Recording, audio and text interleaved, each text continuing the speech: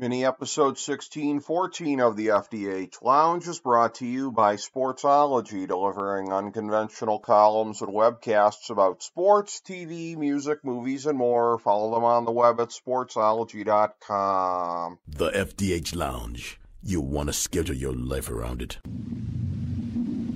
A long time ago, on a gloomy, wet Cleveland spring night, two men stand alone amidst the late night drizzle. Their voices echo across the vacant station parking lot as they debate the merits of the great American radio show that have been missing for far too long. On that night, an idea was born. That idea became the FDH Lounge.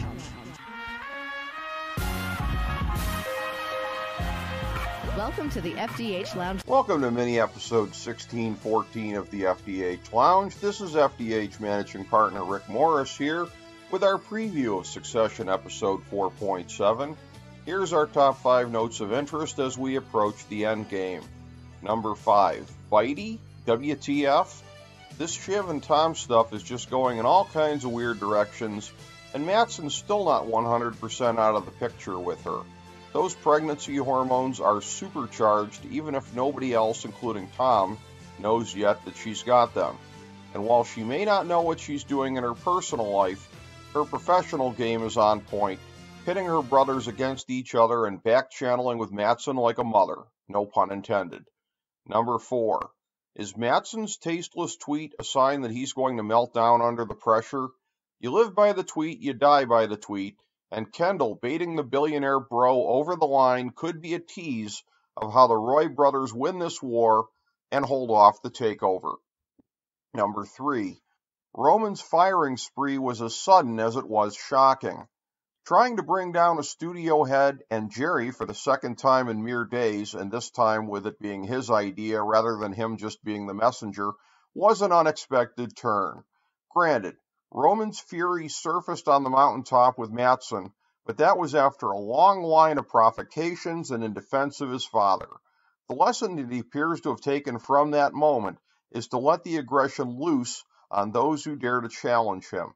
And given his mommy issues, powerful women in particular seem to be provoking him more than ever these days. This isn't going to end well for him. Number two, Kendall just had the huge win that he's been chasing for the entire series. Up until the last minute, it still looked like he was headed for another huge L, but against all odds, his bullcrap landed on the mark.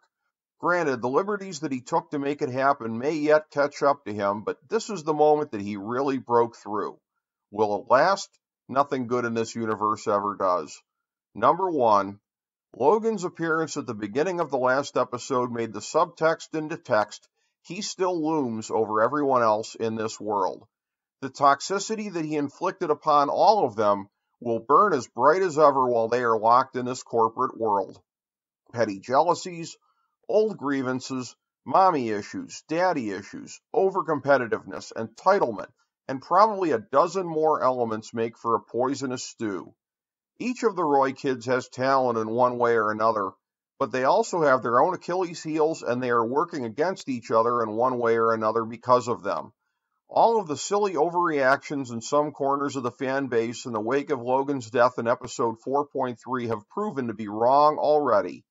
The show does not have a vacuum at its center without Logan pulling the strings, because, as his kids must have feared all along, he's still pulling them from beyond the grave and it looks like he always will be. Thank you for joining us for this mini episode of the FDH Lounge.